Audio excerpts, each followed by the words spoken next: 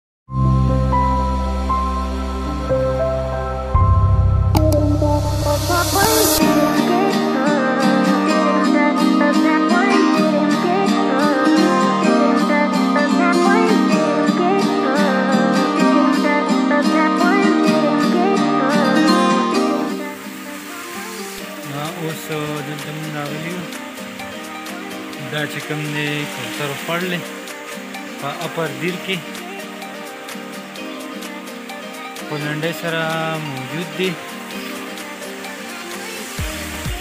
موږ سره اوسئ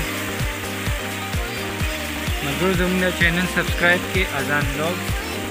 او سره د بیل ایکن هم کلیک کړئ تاسو وینئ دې ته وایي کوترو خوړ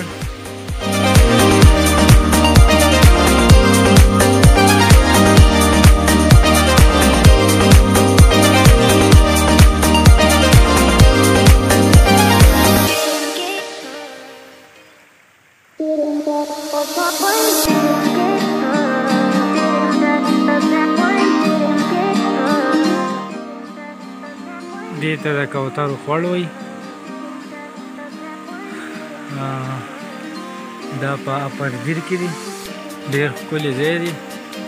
او دلته خلک راځي دلته د کاني ماني ځان سره وړي خلک او